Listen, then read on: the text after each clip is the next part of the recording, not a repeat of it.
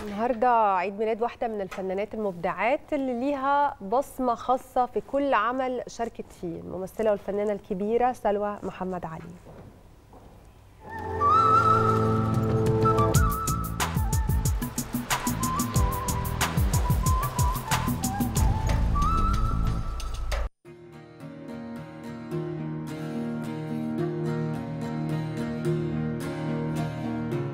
يحل اليوم عيد ميلاد الفنانة سلوى محمد علي.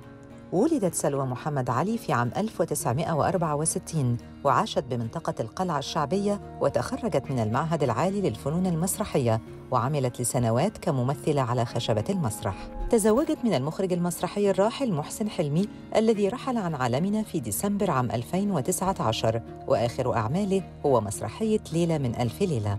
لم تحصل الفنانة سلوى محمد علي على دور البطولة المطلقة حتى الآن على الرغم من أعمالها العديدة التي قدمتها ويرجع ذلك لتركيزها الكبير في تقديم أدوار تعبر عن الأم أو الزوجة أو الصديقة أو المرأة المصرية بأشكال مختلفة. لازم تيجي ناقصة حاجة.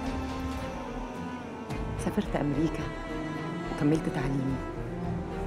بس مع الراجل اللي أنا مش بحبه. رجعت مصر للراجل اللي أنا بحبه. حققت سلوى محمد علي الشهرة بفضل أداء دور الخالة خيرية في مسلسل الأطفال عالم سمسم. متشكرة قوي يا خوخة وأنتي طيبة. ما تنسوش تعدوا عليا عشان نطفي الشمع سوا. وقدمت دوبلاج شخصيات عديدة في أفلام ديزني الخاصة بالأطفال.